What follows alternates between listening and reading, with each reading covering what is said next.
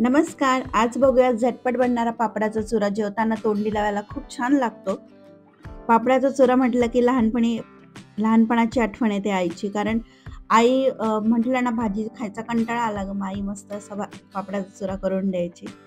तर मी इथे दोन पापड उडदाचे घेतलेले आहेत आणि ते भाजून घेते. हे विकतचेच पापड आहे. जिरा पापड आहे हा.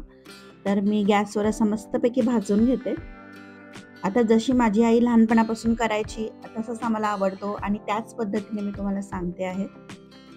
तर इकडे दोन पापड मी मस्त गॅसवर भाजून घेतलेले आहेत.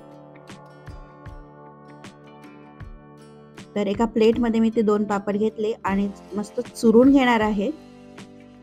भाजीपोळीसोबत थोडंसं असं पापडाचा चुरा कधी कधी करून घेतला ना की छान वाटतं. दोन घास जरा जास्तच खाल्ले जातात आणि माझ्या घरात पण माझ्या लहान मुलांना सुद्धा आवडतो.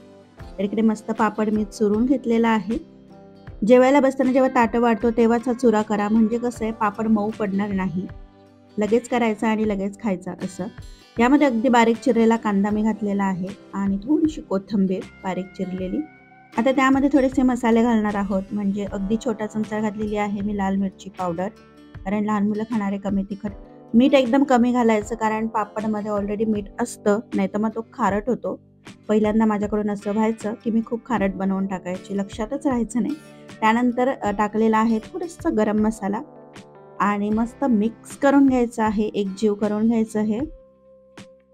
आणि मस्त वरून घालायचं आहे आपल्याला तेल. इकडे मी डायरेक्ट असं कच्चंच तेल घालते. गरम वगैरे काहीच केलेलं नाही. चटणीत जसं आपण तेल वरून टाकतो त्याचप्रमाणे इथं मिक्स करायचं आहे. एक चमचा घातलेला आहे तेल आणि असा मस्त पापडाचा कुरकुरीत शा- चविष्ट पापड चुरा बनवून तयार झालेला आहे. एकत्र करून घ्यायचं. म्हणजे म्हणजे मसाले आहेत ते पापडाला व्यवस्थित लागतील. आणि बस तयार झालेला आहे.